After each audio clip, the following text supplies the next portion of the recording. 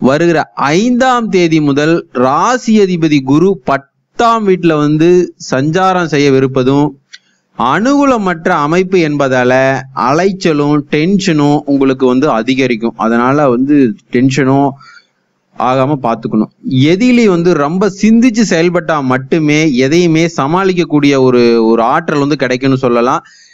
தேவையில்லாம கோவப்பட்டீங்க அப்படின்னா உங்களால எந்த பிரச்சனையும் உங்களால ஜமாளிக்க முடியாது. குடும்பத்துல சின்ன சின்ன பிரச்சனைகளும் வாக்குவாதங்கள் தோன்றினாலும் ஒற்றுமை குறையாது. குடும்பத்துல பிரச்சனை வந்துச்சுன்னா அதை வந்து விட்டு கொடுத்து போங்க. அது ரொம்ப நல்லதுன்னு சொல்லலாம்.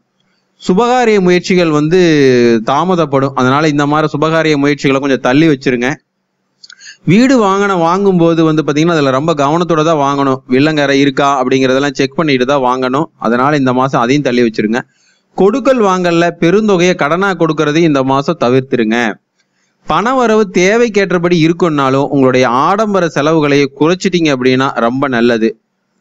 மாணவர்கள் வந்து தேவையற்ற நண்பர்களின் சவகாசத்தை தவிர்த்திட்டீங்க அப்படின்னா தேவையில்லாம பிரச்சனைகள் வரக்கூடியதுல இருந்து நீங்க தவி தப்பிச்சுக்கலாம். இதுல இது எல்லாமே வந்து உங்களுக்கு சாதகமா நடக்கணும் அப்படின்னு நினைச்சீங்க அப்படின்னா சிவபெருமான வழிபட்டு வந்தீங்க அப்படின்னா உங்களுக்கு எல்லாமே நன்மையிலேயே முடியும். நன்றி.